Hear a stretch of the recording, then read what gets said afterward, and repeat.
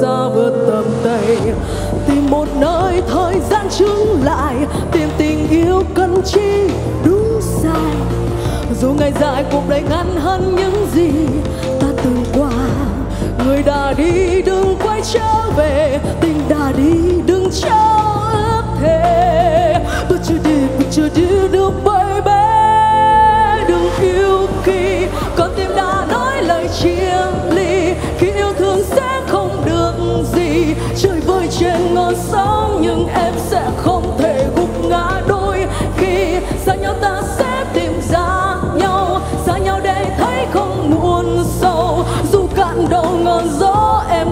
không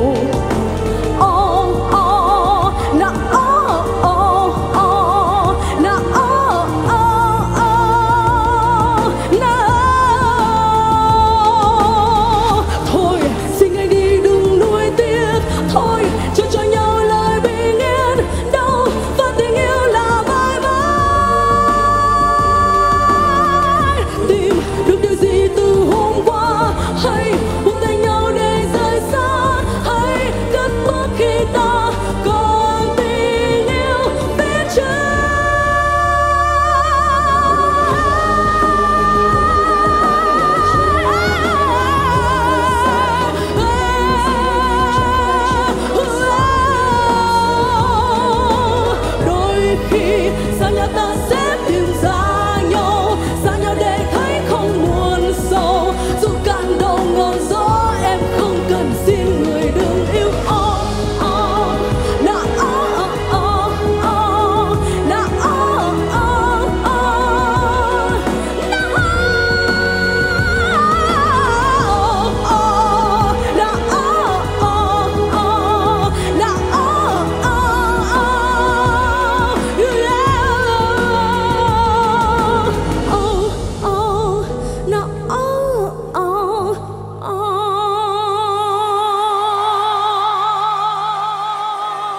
Đừng yêu và Kiều On Cho nên em có được cái được không? Trời ơi.